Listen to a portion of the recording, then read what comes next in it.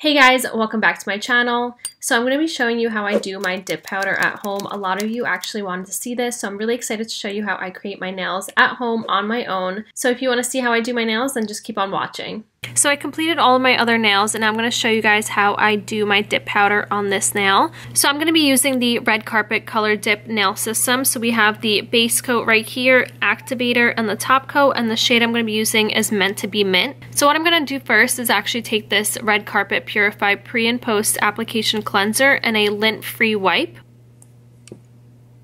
So what I'm going to start off by doing is taking this and running this over my nail to take off any excess oil or dust or particles that were left on my nail from shaping my nails and it's best to use an alcohol-based cleanser. So I'm now going to take the base coat. So you want to take a thin layer of base coat and run that over the entire nail. And then quickly dip that into the powder at a 45 degree angle. And then I'd like to take a cuticle pusher and just kind of tap the top of my finger just to shake off any of the excess powder.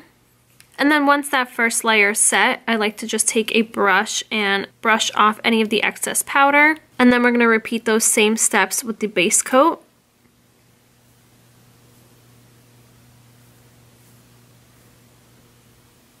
Once again, dip that into the powder.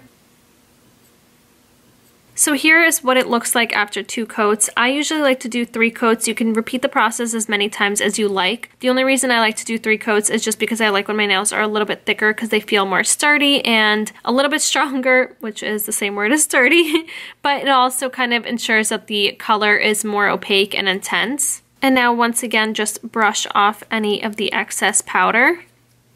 And then we are going to do our last set, applying the base coat once again all over the nail. And then again, quickly dipping that into the powder.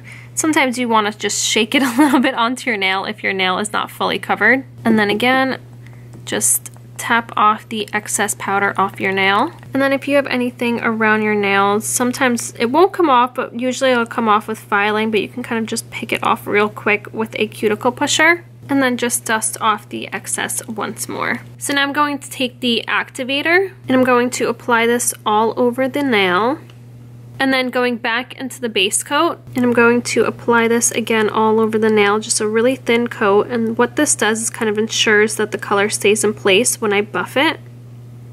And now I'm going to let the base coat dry on top of this finger and then we'll get into buffing. When it comes to shaping my nails, I like to just kind of concentrate on the sides first.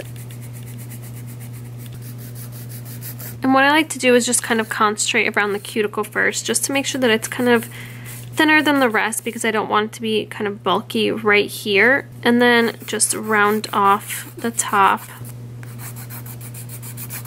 So once the nail is shaped, I like to take a buffer and just lightly buff over my nail to smooth it out. Now I'm going to take the activator once again and brush that over the entire nail. And then you're want to wait about 20 seconds for the activator to set. And then once again, you're to take a lint-free wipe and just wipe off the activator and excess from your nail. And now finally, last but not least, the top coat. First applying the first layer of top coat because we are going to be applying two layers. And then we're going to apply the second layer of top coat.